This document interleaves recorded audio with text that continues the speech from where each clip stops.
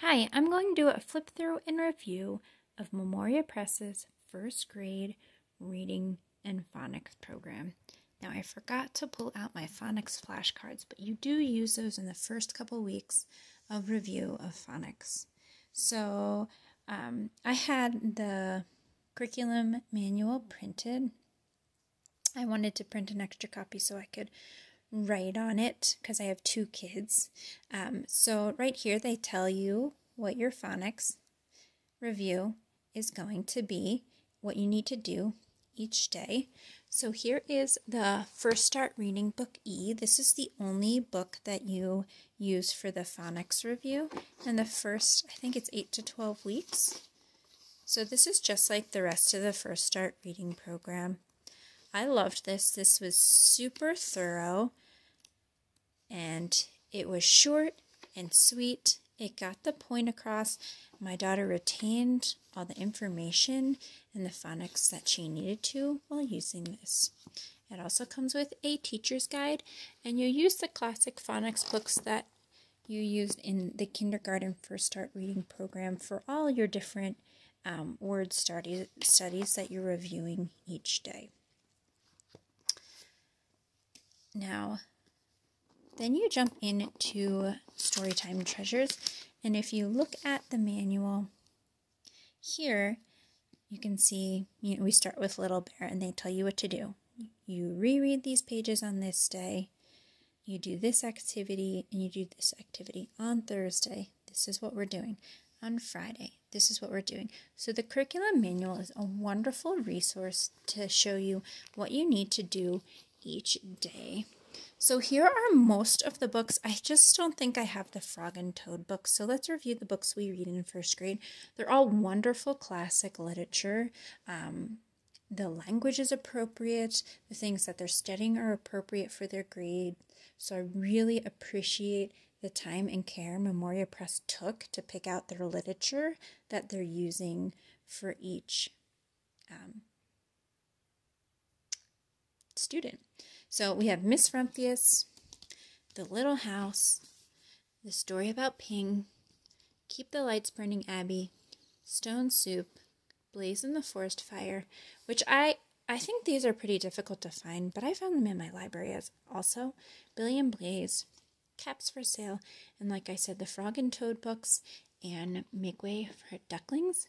Let's take a look at the student guide just a quick flip through of Storytime Treasures. I really love that they did it this way. So if you have a left hand writer or a right hand writer, it being spiral bound at the top, the student can really, as they're still learning to write and figuring out their handwriting style, um, this is a great way to use. Obviously, I have the teacher guide that comes with this. I can pull that out so you can get a quick look at that. So they tell you how to use the guide, which I really like. It's short and sweet, the instructions on how to do each lesson, but they get across the point of what you need to do, and they also do a model lesson plan. So this is what it looks like from the student, from the teacher's point of view. This is what you're doing on day one before your lesson. So you do need the phonics flashcards. If you don't want to pull the flashcards out, like I didn't like to pull them out every day, I just did this on an activity. I would write down, I mean, on a whiteboard, I would write down the word fly and I would say, what sound does the Y make in fly? Bread. What sound does EA make in bread? And I would just underline the EA on the whiteboard. All these things I would also do on the whiteboard. I would just write these words down and my daughter would read them. Same with this and this. So we did all of this on a whiteboard. Now, we did this before reading the story. We would say each word, write it, use it in a sentence.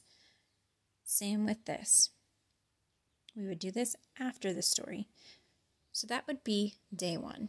Day two, you have your pre reading, which I do on the whiteboard. And then we do this after our reading. And this is just from the teacher's guide point of view. So these are the worksheet pages. We'll just take a look at that. This is for just Storytime Treasures, which is the first half of the year.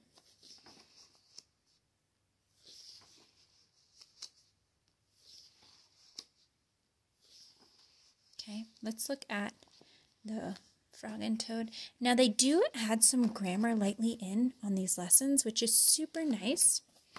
So the students are learning to, you know, put a period at the end of their sentence, starting their sentences with a capital letter. So they do touch on some basic grammar, like the noun um, in Storytime Treasures, which is nice. I'm sorry.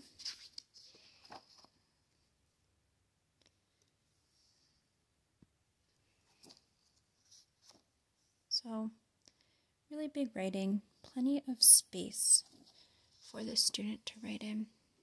See, here's a language lesson on abbreviations. So let's look at more Storytime Treasures, which is the same layout.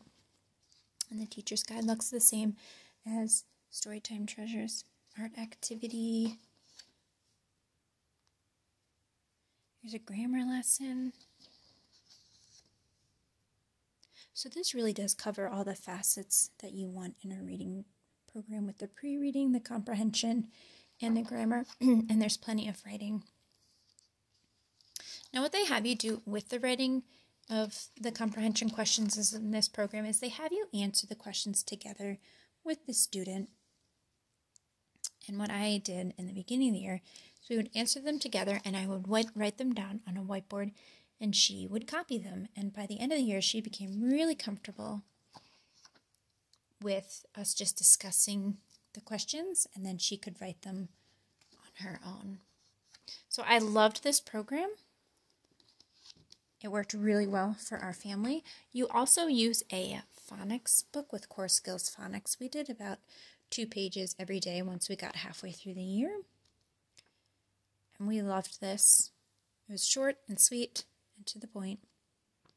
So overall, two thumbs up for Memoria Press's first grade reading program. Has all the components that you want. It's very comprehensive and they have wonderful classic literature. Let me know if you have any questions.